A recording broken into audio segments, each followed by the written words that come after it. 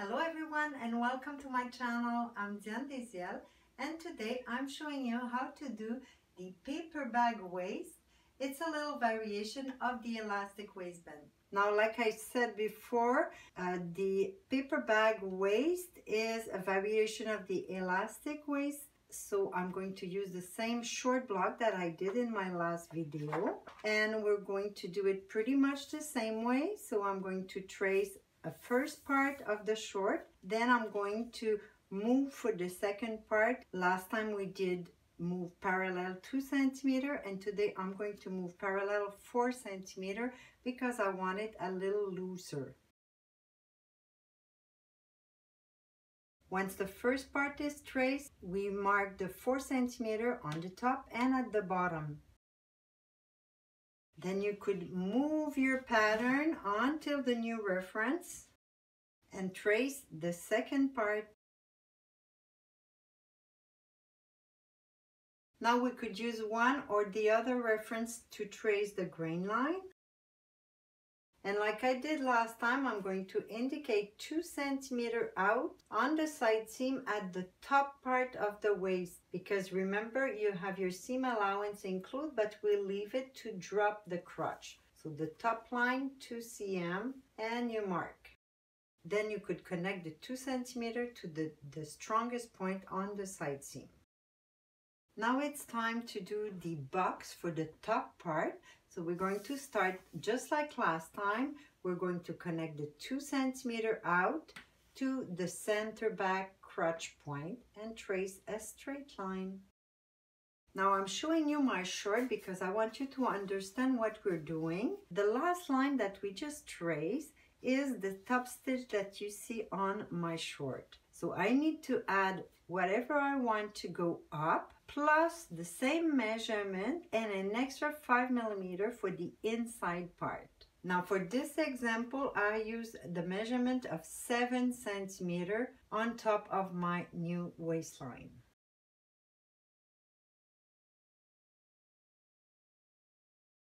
Now we're going to be ready to add the inside part. So like I was saying, it's the same measurement plus 5 millimeter, so 7.5.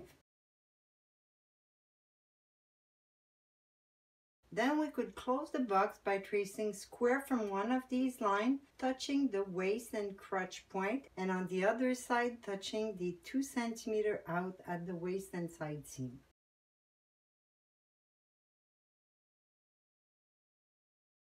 Now here's what I did for the back. I did place a little elastic to hold it a bit. So I just have to worry for the pleating in the front when I put my belt on. Now what I did is I cut an elastic only for the back waist of about 46 centimeter or 18 inches and I sew my elastic at the edge of the inside part before doing my overlock and after I did my top stitch all around. So now the back pattern is finished. Now for the front, we do exactly the same. So I trace the first part until the grain line. I'm going to open 4 centimeter top and bottom, move to trace the second part.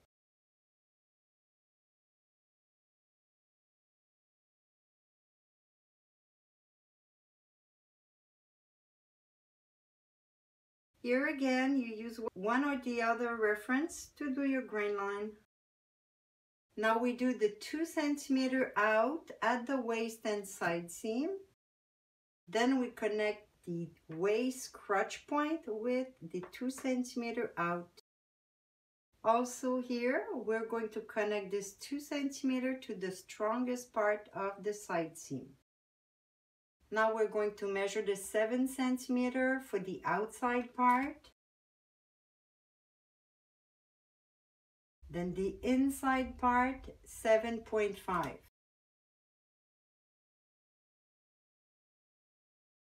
Now we connect with a square from one of these two lines, connect the 2 centimeter out and the center front crotch and waist point. Square with one of the two lines.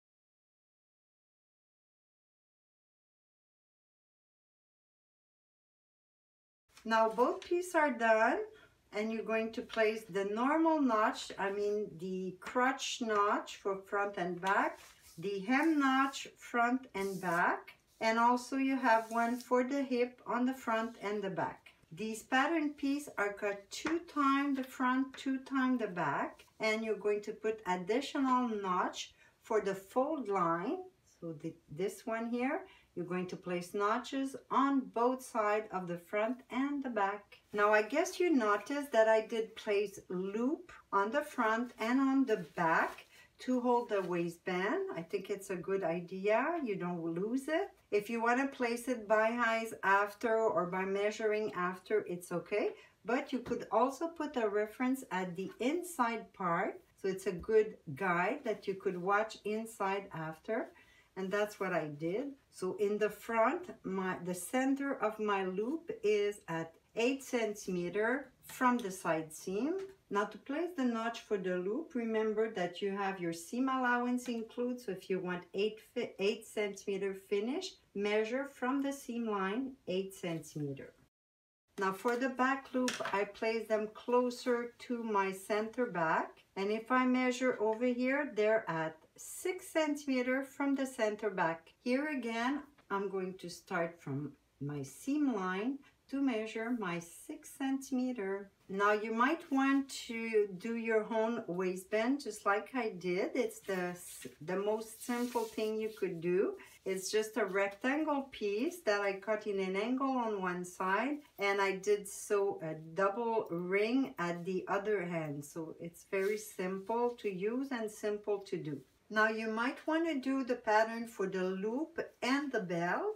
So I'm going to give you the measurement that I used right now. Starting with the loop, I did it in one piece, so two front loop and two back loop. The front was 13.5 because if you notice I did it extra long with an, a double loop at the bottom just for decoration and the back loop were 9 centimeter. The width of this piece is 3.5 centimeter and I cut it on the grain line only one time. The way to do it is to cut it, overlock one side, then I did fold the unfinished side first by one third of the width and then the overlock side over and I did two top stitch, one at the edge and another one at the other edge of the overlock. After you could cut with the right measurement that you need. Now for the belt, I decide to do it in two pieces so it would be easier for you to place on your fabric and cut.